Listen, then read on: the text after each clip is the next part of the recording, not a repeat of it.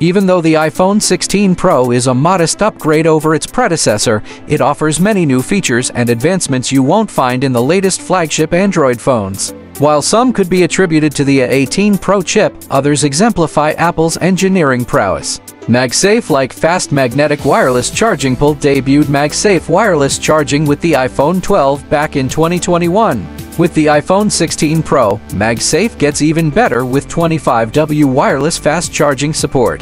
MagSafe stands out not because of wireless charging but due to its magnetic power profile. It ensures you don't have to bother about your phone aligning with the wireless charger for the power transfer. More importantly, it allows accessories to snap on an iPhone's back, making them easy and quick to install and remove. Once you start using a MagSafe mount in your car or bike, you won't want to go back because of its convenience. The Qi 2 wireless charging standard debuted in 2023, promising to bring MagSafe-like magnetic wireless charging to Android devices. Fast forward a year, and not a single flagship phone from Samsung, Google, Motorola, or OnePlus supports Qi 2 charging. HMD, formerly known as Nokia, launched the world's first Android phone with Qi 2 magnetic wireless charging in 2024. But given its limited availability and inferior specs, it's unlikely to find many takers. Plus, it only supports 15W wireless charging, unlike the iPhone 16 Pro, which supports 25W speeds. A customizable action button Apple replaced the ring or silent switch on the iPhone 15 Pro with a customizable action button in 2023.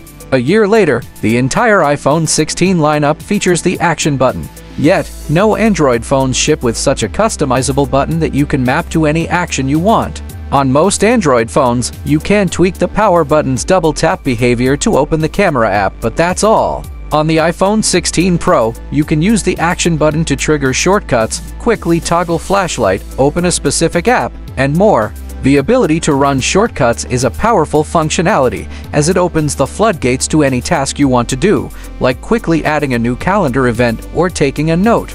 Capacitive camera button The iPhone 16 Pro marks the debut of the camera control button. As the name indicates, pressing this capacitive button will open the camera app.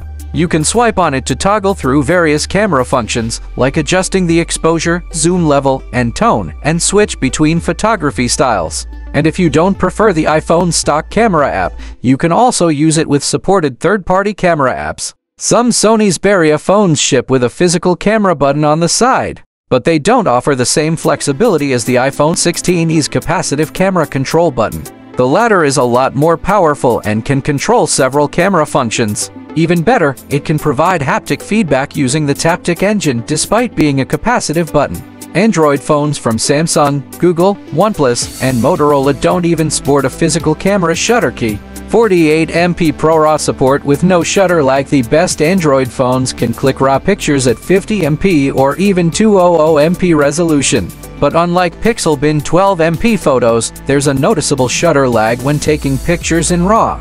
This limits the number of images you can take back to back, which can be an issue when capturing fast-moving subjects. Thanks to a faster sensor readout and powerful ISP, the iPhone 16 Pro can shoot RAW pictures with almost no shutter lag. This might not seem like a big deal, but if you frequently click RAW photos on your phone for greater editing flexibility, this is a significant improvement. You can click back-to-back -back RAW images of a moving subject to try and get the best frame possible. Later, you can enjoy higher flexibility in dynamic range and details when editing. 4K 120 FPS video recording in Dolby Vision like previous iPhones. The iPhone 16 Pro can record 4,000 videos in Dolby Vision HDR. More importantly, it can record 4K 120Fs videos in Dolby Vision. Unfortunately, only some Android phones from Chinese players like Xiaomi can record 4K 60 FPS videos in Dolby Vision HDR. Even the best camera phones from Samsung and Google only support HDR10 Plus instead of Dolby Vision and are limited to 4K 60fs. Super thin bezels Many Android phones sport big, beautiful OLED displays with curved cover glass from all four corners to achieve a bezel-less look. On the other hand, Apple uses a flat 120Hz OLED panel on its Pro iPhones, the company has reduced the bezels slightly with each new generation.